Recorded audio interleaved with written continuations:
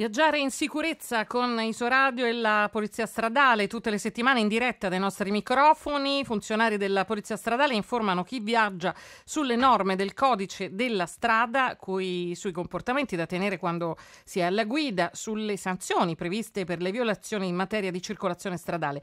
Risponderemo anche alle vostre domande. Io ricordo il nostro numero. Queste domande potranno essere inviate attraverso un messaggio al 348 103 1010. Oggi parleremo parleremo della campagna di sicurezza stradale sulle due ruote Ania Campus.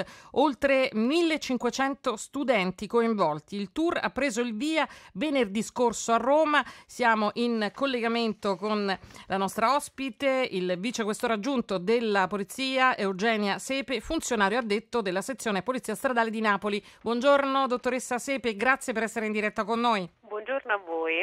Allora, ci parli di questo tour dedicato soprattutto ai giovani, evidentemente.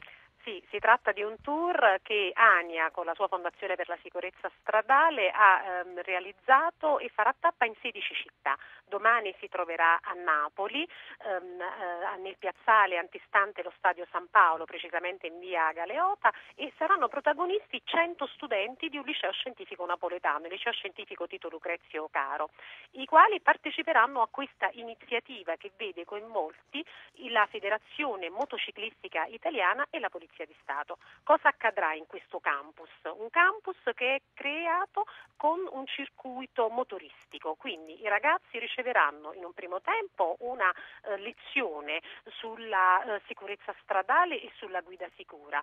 Poi svolgeranno, dopo la parte teorica, una vera e propria prova pratica su questo circuito. Quindi una prova di guida proprio. Esatto, mm-hmm. su queste eh, moto con, sotto la supervisione di istruttori e piloti professionisti.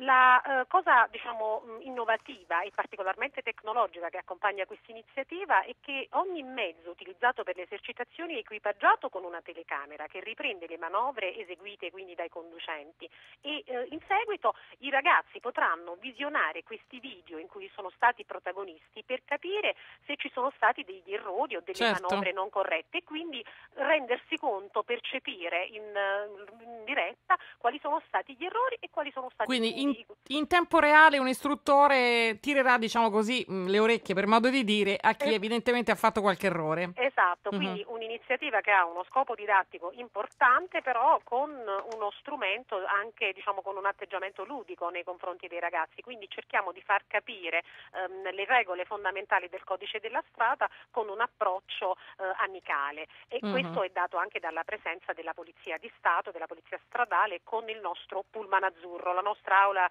didattica interattiva multimediale dove i ragazzi avranno la possibilità di eh, seguire quelli che sono i video sulla sicurezza stradale commentati, spiegati dai nostri colleghi presenti sul posto e avranno quindi la possibilità di rendersi conto di percepire quelli che sono i comportamenti corretti.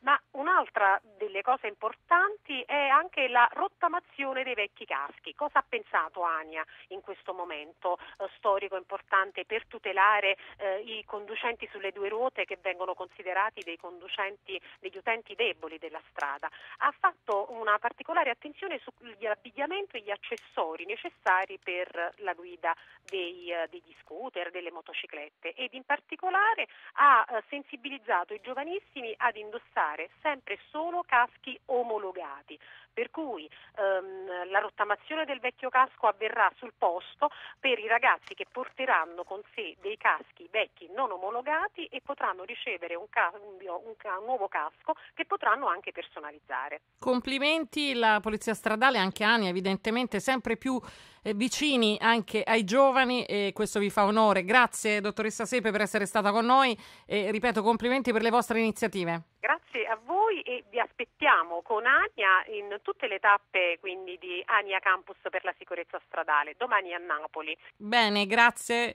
Eh, buon lavoro al vicequestore aggiunto della Polizia, dottoressa Eugenia Sepe, funzionario addetto della sezione della Polizia Stradale di Napoli e la ringraziamo naturalmente per essere stata con noi su RAI Isoradio.